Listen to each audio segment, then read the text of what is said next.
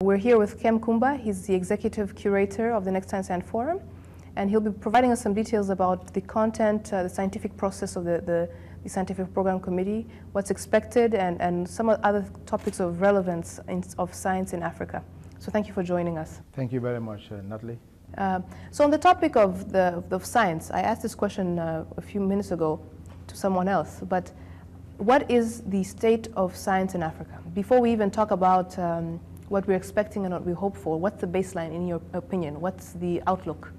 So uh, the outlook for science in Africa can best be uh, seen in comparative terms because Africa doesn't live in isolation. So uh, I, I can best approach it by looking at how science is in Africa compared to, say, Asia or Europe or the Americas. And when one looks at Africa, it's a continent of 52 countries. Within Africa as well, there are variations by country and by regions in terms of their scientific uh, um, uh, activity. Uh, Africa is not as uh, strong as uh, other parts of the world, say Europe and, and Asia and, and the, uh, and, and, the Americas. And it's, it's, I should be very careful about that because even in the Americas, North America is strong, but South America, some countries are strong and some are weak. In Asia, some are strong and few countries are still a little weaker. But Africa as a whole, collectively, still is not as strong as other regions collectively. Um, South Africa is relatively strong in science. They will be hosting the Square Kilometer Array, the premier uh, uh, telescope that will be existing on Earth. That's very uh, that's space for really advanced uh, science. Science Africa, um, South Africa was uh, once a nuclear country it's uh, where one of the first uh, heart surgeries were done. There's a rich history of that in, in Southern Africa. Nigeria has been advancing very, very strongly, uh, engaging very, very advanced scientific activity. Ghana and uh, Kenya, mostly the Anglophone countries in Africa, they've been making a lot of progress. So uh, compared to other parts of the world, Africa hasn't been doing very well or investing much in science and developing an infrastructure and the enterprise. But within Africa itself, if you look at it in the last 10, uh, 10 to 20 years, it's made tremendous progress. And that progress is measured in a report that the World Bank recently put out uh, in August in collaboration with Elsevier Publishing that shows that uses uh, the amount of uh, publications registered in Africa to give a sense of the evolution of scientific activity in Africa. And you can see very clearly that the number of publications has increased tremendously the number of collaborations that African scholars has with international uh, partners has increased tremendously. Uh, but that's a little bit uh, superficial because while one can measure progress in science through publications, if you look on the ground itself, the filtering of, the public, of what is published into concrete solutions for African problems, that part, has not that part is, still, uh, is still lagging.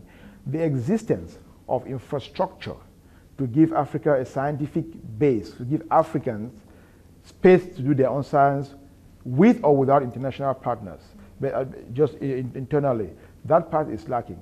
And a good example that would give a sense of where Africa stands in science relative to the rest of the world or within itself would be the recent Ebola crisis, where just the fact that somebody had a disease and it couldn't be controlled because it was a communicable disease, and it couldn't be controlled by the country's scientific enterprise, the scientists, the infrastructure, the doctors, uh, the reaction was more alarming. And the uh, increase in infection rate was so much that it destroyed whole regional economies. And the rest of the world, the media, everything played us, uh, played Africa as though they are unable to manage a simple disease. I say simple because Ebola is not the worst that ever happened in the world. It's bad in terms of the death. That's not what I'm talking about. Communicable diseases will be arising. Our environment is changing and inducing uh, viruses that didn't exist some years back in our in global space. AIDS once came around. It, wasn't there prior to uh, when it came for millennia when uh, that uh, humans have existed. AIDS came around. And Africans were, were still uh, put at the center as originators of the AIDS uh, epidemic, but they were the least able to contain the disease. Uh, and then. Uh, but to interrupt you there, on a practical level, if you were to say uh, within the the the, the for, this within um, discussion around the next Einstein Forum and how it will be different from all the other science forums that are happening, what can be said about some of the changes that are required for better science to happen? So exactly what I was getting at. While Ebola couldn't be contained, look, for the, look at the US for example, the virus, the flu, kills tens of thousands a year, but it's not a pandemic because the US has a big scientific enterprise. In order for science to advance in Africa and be able to assist Africans control, manage their own diseases, their own environment, their own matters arising, they have to invest in their own science infrastructure. They need their research labs so that they don't have to take the, uh, the samples outside of Africa. They need their own highly trained doctors who can do, um, or uh, scientists who can do the, uh, who can uh, research on, on, on the uh, samples right on the spot. Yes, certainly with collaborators from outside maybe, but at least be able to manage it internally without things that are sometimes I would say inevitable because in a few years, I don't know how long one can predict, some of these things again would arise. How do you still manage it? So having the infrastructure to contain it is the, is the, main, is the main thing.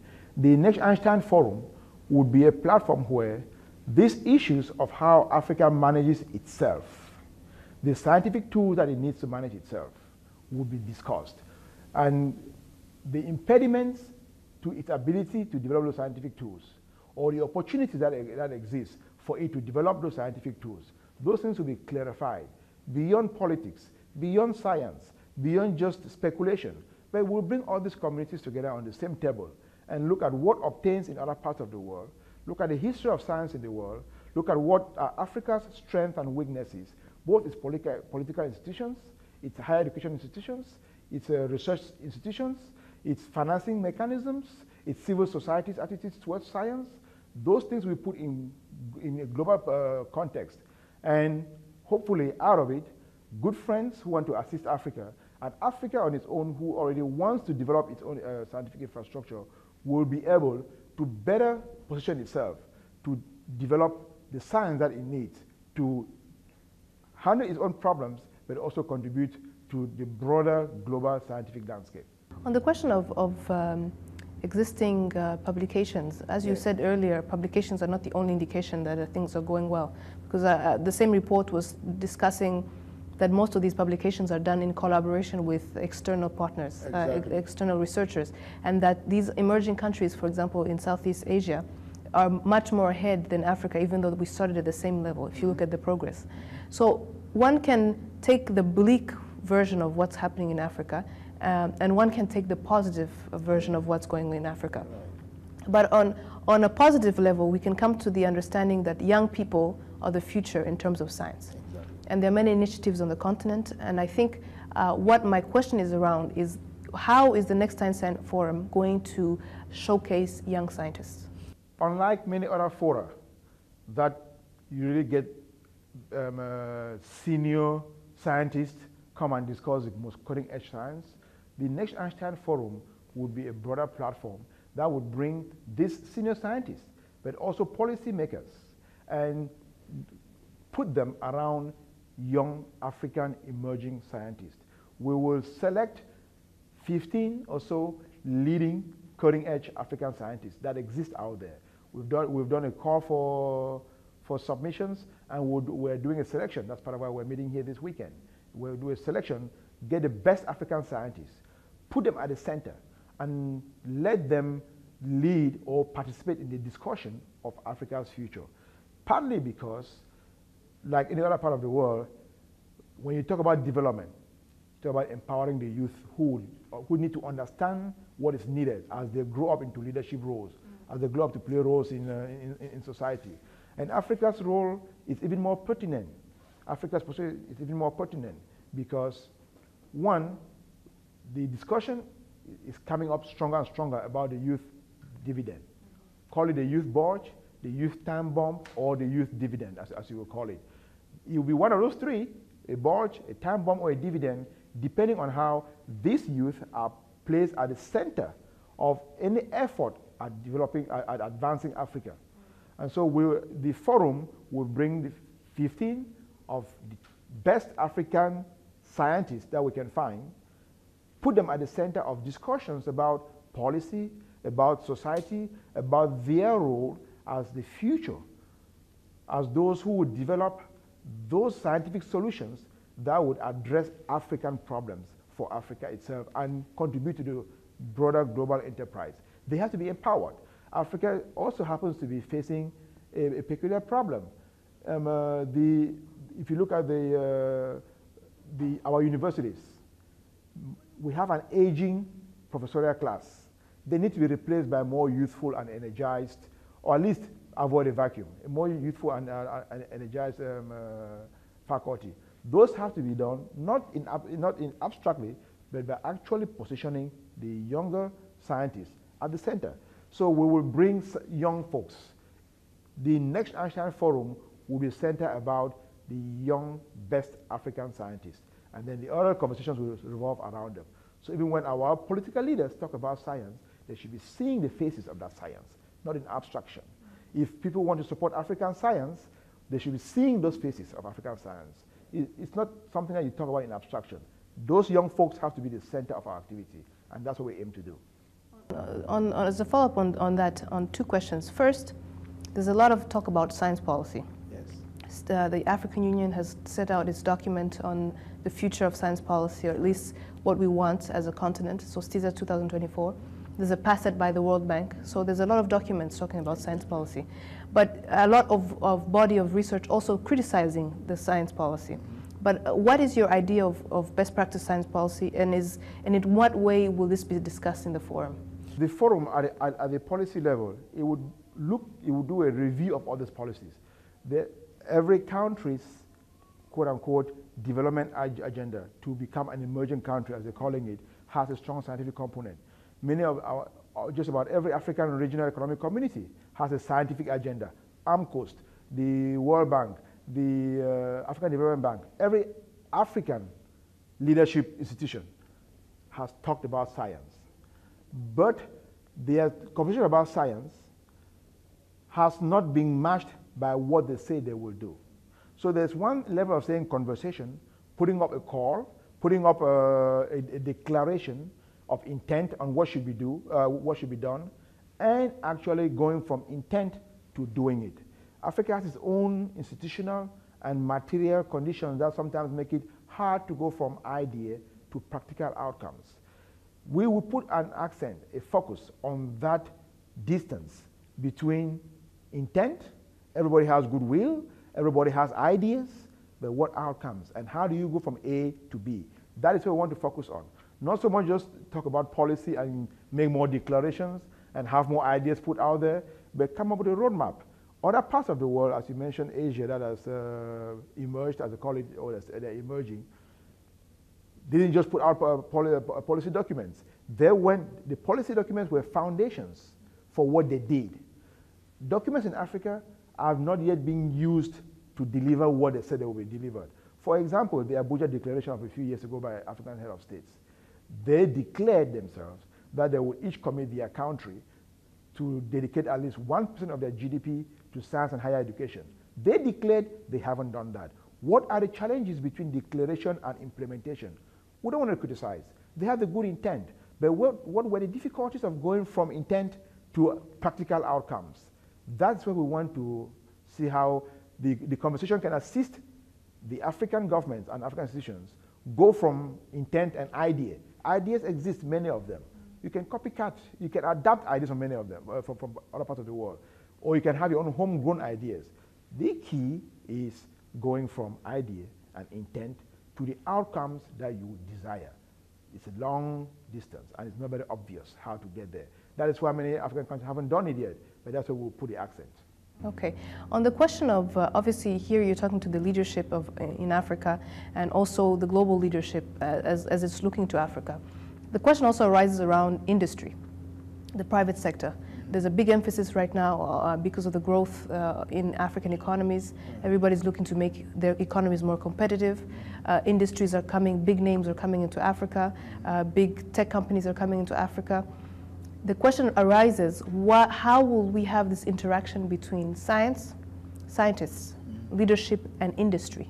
So how will this science become, um, I would use the word commercialized, or at a point where these ideas can be turned into something, and this, uh, these ideas can now be used to transform African society? Already, by the mere fact that the next Einstein Forum will bring these three parties, policy, scientists, and the private sector, the corporate uh, sector on the table, is already a game changer. It hardly exists on the continent. Those three communities, not just individuals like who, who know each other, but as communities, hardly ever come together.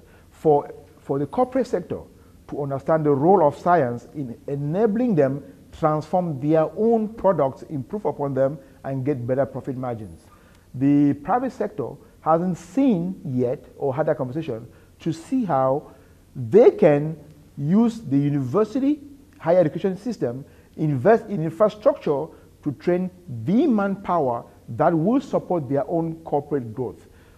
Partly because many African big corporations, the base of their wealth doesn't come from technical skills. So they haven't seen that yet. Extractive industries, when they want technical skills, they get expatriates from outside at a much higher cost. That analysis has, hasn't been done. If you were to hire an expatriate from the US or from Europe or from Turkey, it costs three to five times more than hiring someone trained locally. And that money goes outside, out of the continent because they're paying an expatriate to, to, take it back. They haven't seen that analysis that the rely, relying on expatriates, few of them, one, doesn't quite give you the larger critical mass of technical skills, and two, doesn't leaves the African youth and population itself less, uh, I want to say, uh, uh, less sophisticated to use advanced products. So having that conversation between policy, um, corporate sector, and higher education, just put them on the table. We don't have all the answers. We don't run the corporations that we run other universities. But that, there has to be a three-way conversation. And the civil society has to see where their role, where, where they come in just having those three or those four or five different constituencies on, on in the same forum, talking and saying, here is where we complement each other for our mutual betterment. That is a key. NEF, the Next Einstein Forum, doesn't pretend that it has answers, but it pretends that if you bring the key players whose interests are at stake on the same table to look at where they complement each other, like business partners, you will see different outcomes. That is how it is done in other parts of the world, where commercializing university products is not a big problem. The commercial sector already understands it. And so they pick it not because they're doing a favor to the university or to the government, for their own corporate benefits. Take, for example, if, if, if I may, um, uh, mention is made very often of someone like the, the uh, Dangote Group and their cement factory. How do you improve cement and the whole construction industry. If you think of that question, it's a scientific question, it's an engineering question.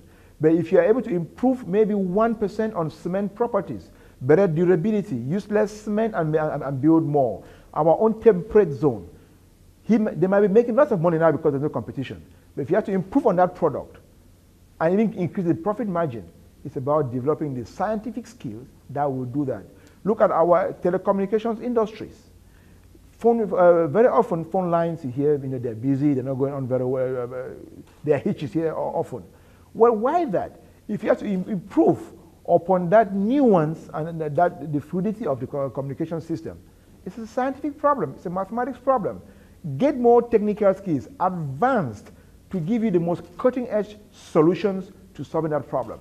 Other parts of the world where technology seems to be more common, things seems to work better, it's only because they have more technical skills to address those issues. If African corporations would improve on any of their products or their services to their own market, their customers, they have to rely on technical skills to not only low-level technical skills, very advanced African trained technical skills to improve on those products. It increases profitability, it increases the marketplace, it increases Africa. And the governments on the other part whose mission is to uh, look out for the welfare of their population, get a better society altogether. On the, on the point of, of science that uh, answers uh, development questions, that uh, responds to the challenges, it, there seems to be a discussion very much around manpower, which is important, technical manpower. But it seems that to me the, the idea is lost that even for the future of the, the global industry, on the future of the survival of the planet, we need people who come up with new ideas. And can you speak to that and how it relates to our young people? Yes, here's how I, I, I see that. Much of Africa's, much of the policies that African countries develop are still policies that are pushed upon them by develop, international development agencies, be it the World Bank, be it the United Nations, be it their stronger partners from the North, be it the bigger funders who support all the civil society. They come with their external ideas of what should be good for Africa. And they come with good intent. But their vision of Africa is one they're coming to help Africa. And when you're helping somebody, you, you assume that they are weak and incapable. The difference will come if Africa is able to stand up and define its own agenda independently. So that when they meet the development agencies from outside or the partners from the north, US, Europe, Asia, and the others, they don't meet them to ask for a handout. They meet them as a partner. They mutualize their relationship. They don't get into unilateral relations where good intent from outside skews your own development. The way African countries can actually get our issue is to look internally for their own manpower. It would lead them to redefine the issue. Africa's problem is not about sustainable development. It's not about transfer of knowledge. It's about development of their knowledge. It's about advancing their own welfare. Not sustainable is just like survivor, barely making it. That is what it brings. But the word sustainability is an externally constructed um, um, uh, notion. If Africans were to stand and look within themselves, the leadership, civil society, and scientists, what do we need? What do we want for our next 20, 30, 40, 50 years? Like, uh, um, uh, um, uh, like Madam Zuma has done at the African Union with the Vision 2063 in other spheres. If that vision is, is, done, is put together, you will see that the word sustainability is not, is, is not an issue. The global scientific community is at, is at uh, crossroads. Look at demographics. Science flourishes where there is a youth energy and the youth imagination. The youth are the ones who imagine, who dream, who see things that no one else sees and goes after them, who are adventurous with their lives. And they are, they are free unlike a more aged society where they are more set and they can celebrate their, their, their successes. Africa is the youthful population of the, has the, the, uh, the world's future youthful population. Europe is declining, so is America, and so are other parts of the world. The scientific enterprise is at a point where it's benefited tremendously from the European culture that has enriched it for in the last couple of centuries. It's benefited tremendously from the American melting pot, as they call it, where many different communities come together and they create a scientific enterprise. It's now moving towards uh, Asia, and China is coming in with a different cultural perspective. Now, when those cultures have exhausted their ingenuity to dream and look at the world from different perspectives, Africa is the next frontier, where if you have to imagine different world views that can look at the same picture but interpret it differently. The cultural constructs that makes you to look at one thing and define it differently from a European or from uh, an Asian. That is what matters now for the future of science. So if you want to think about the future of the planet, and the youthful boy is coming from Africa, and Africa has a different cultural construct to the way they see things than the way others see, uh, uh the traditional scientific countries have seen, uh, have seen reality, then Africa is naturally the next incubator of the future of science. That has to be seen not only as an African problem, but as something that would be extremely beneficial to the future of science. The last question I have for you is around diaspora. Yes. Africa has a huge uh, diaspora across the world some who have left to pursue research uh, and, and uh, academic opportunities because the resources or the environment has not been available in their countries. So now we have a huge diaspora uh, and uh, now many have returned to the continent. Some are still wondering what, not that it's, it's, it, it, you, you can be useful to, the, to your country or to your continent, wherever you are.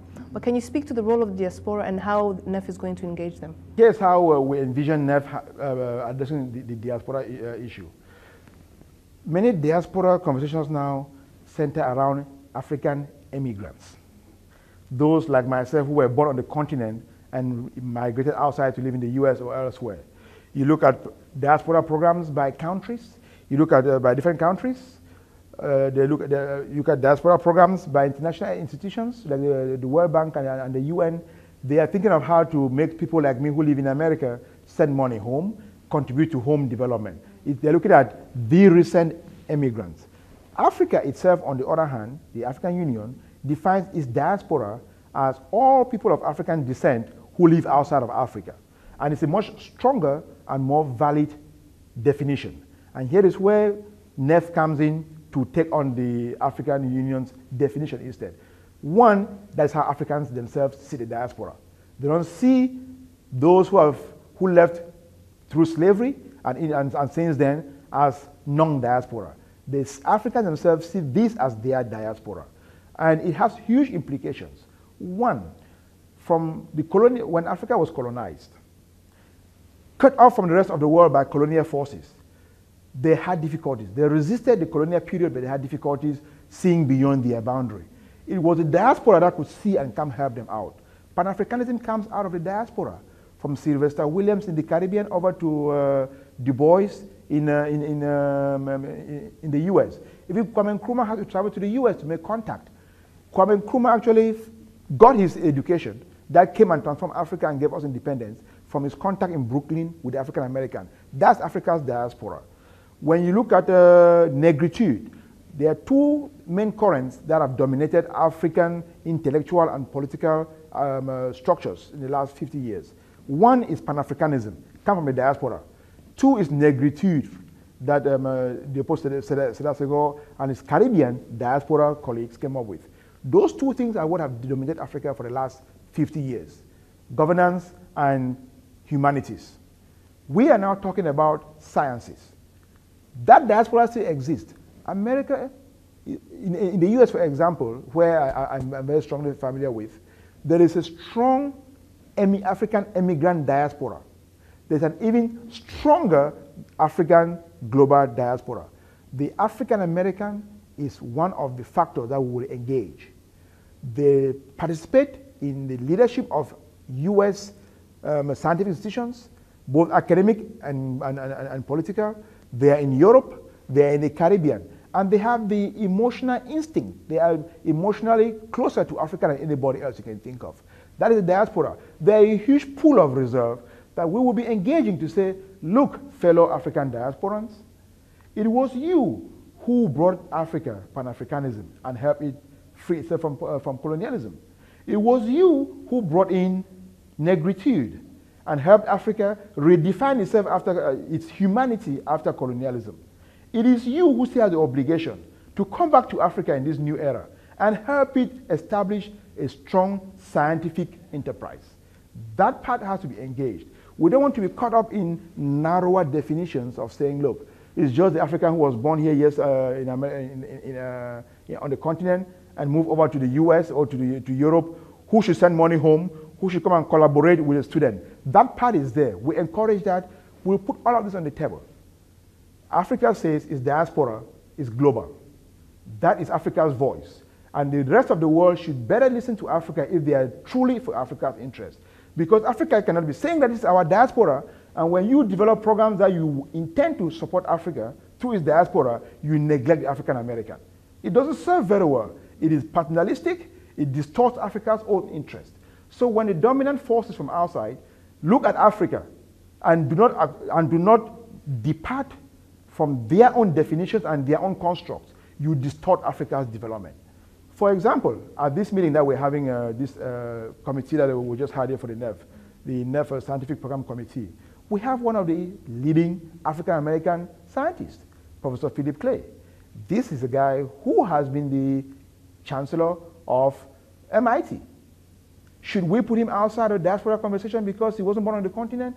That is somebody who has led one of the strongest uh, research uh, institutions in the world. That's Africa's resource, even out of science. So we would enlarge the discussion. We don't have answers directly, but we will, we will help amplify Africa's voice on what it wants with or out of its diaspora, be it brain circulation, be it any uh, um, uh, uh, uh brain transmission, be it um, uh, return to the continent, whatever mechanisms we use. China has a diaspora that it's tapping into. Israel, you always hear about Israel, it's for its energy. It's not even the state itself, it's the diaspora. You hear that very often. No other region of the world has really, really made it from an impasse without using the diaspora that has seen the world from beyond. We want Africa to, to see that in terms of its scientific future. As you can tell, the discussions are going to be very interesting at the next Einstein Forum. Uh, it's going to be held in Senegal, and we look forward to it. Obviously, we'll be discussing more along uh, the year, and we'll have more discussions with scientists. Uh, but definitely, we, we look forward to having uh, a scientific uh, forum, but mostly about how science impacts society, how it's going to drive uh, Africa's development and transformation. And we, we really hope that with young people at the center, there's going to be a different uh, environment and different mood at this uh, next Einstein Forum. So thank you very much for having us. Thank you very much. I very much look forward to it. It's going to be a very exciting conference. The world hasn't seen anything like this yet. Believe me, they haven't seen it yet. They haven't seen Africans come together to talk science and their society and their future. Science originated on the continent, so yes. that's something that uh, is lost oftentimes. Exactly. And the title of the forum is intentional The Next Einstein. Where would he come from? How would you even dare think of Africa producing Einstein? Look at the world that produced Einstein. That world was worse than Africa today, some time ago. If you look at Germany, where Einstein came from, it was, uh, there was a point in history where it was worse than Africa, than Africa, but it eventually produced Einstein. Look at the Europe that has produced all these big scientists. At some point, it was worse than Africa today. It eventually produced all those big names we read in, in, in many books. So Africa is just on its own historical path. And the next Einstein, will look forward to coming out of Africa's youth dividend.